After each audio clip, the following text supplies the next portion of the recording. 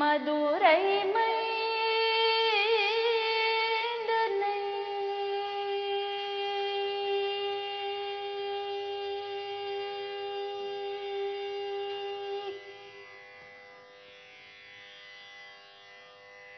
மாயனை மன்னூவட மதுரை மை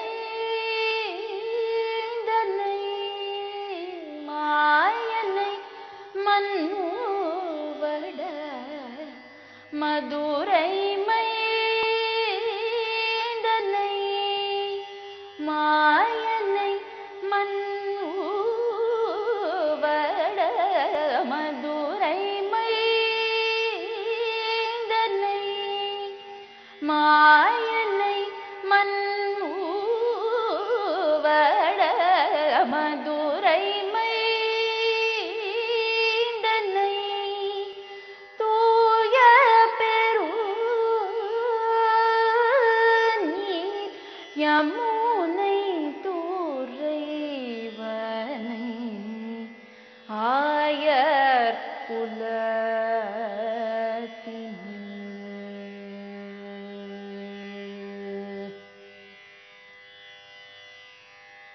ஆயர் குலத்தில்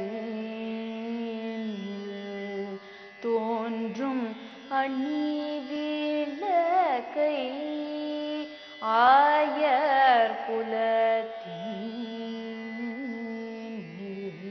தோன்றும் அணி விளக்கை ஆயர் குலத்தில்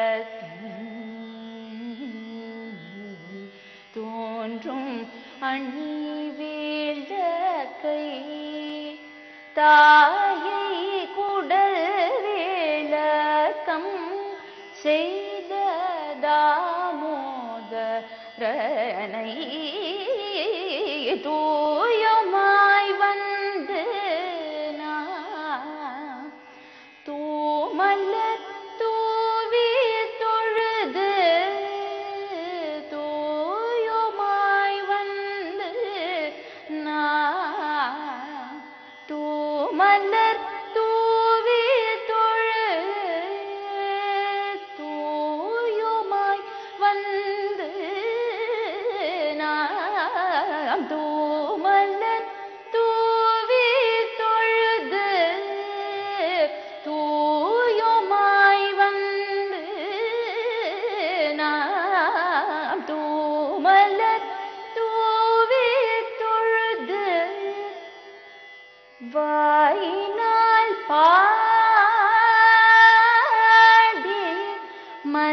மனத்தினால் சிந்திக்க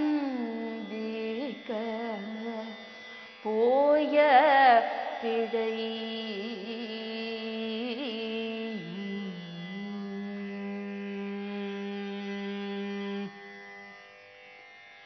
போய பிழை புகுதருவான் പോയ പിടൈ. പുകുതരുവാൻ ജനവും തീയിനിൽ തൂശാകും. ചെപ്പേലോരം പാവാ